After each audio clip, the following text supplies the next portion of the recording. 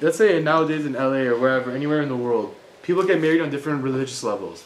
The guy much more than the girl, the girl much more than the guy. The burden of re- bringing up the kedusha level is too hard. They don't accept it. They're not. They're not about that life. So what do you do? What do you do in that situation? So Harav said, in not all sidurim, but the avodat Hashem sidurim have it. Most of them do. There's a special in Hashivenu when you're saying Shemona Esrei. There's a Hiras one over there that specifically speaks about bringing the person back to teshuva. So it says Hashivenu.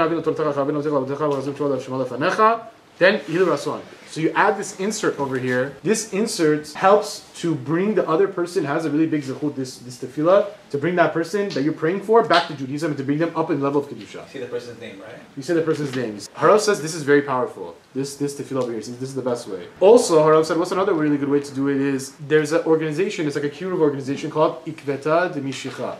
I guess it's in Israel.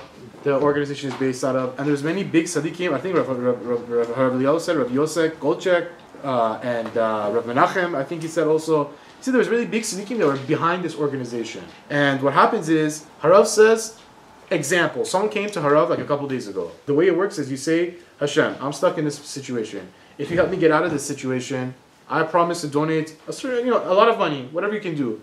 In this case, two hundred dollars to this organization if you get me out of this out of this problem. Within yeah, if I find if I if I if I get out of this if I find my problem within the next day or two or whatever. So someone came and tried to give Harav two hundred dollars to to give to this organization in Israel. And I said, what is this for? He said, Harav, you guys don't believe it. We lost our diamond ring, three four thousand, whatever it was worth, and everywhere that we were looking for, it, we couldn't find it. So we went and we said, Hashem, please, if you help me find this ring, I promise that if I find it in the next in today, I will go and give two hundred dollars to Ikvazad Imshikad, this organization. What happens after they say that? They're, the maid, the who stole the ring, takes it out of their pocket, feels bad, and gives it back to the owner. So Rav saying also you can use this, this, uh, this, this also this thing when it comes to saying Hashem, please, if you bring this person back to religion and give them back to a higher kedusha level, I promise to donate this amount of money to this organization. That also helps big time to bring the either the uh, husband up to the wife or the wife up to the husband's level or higher.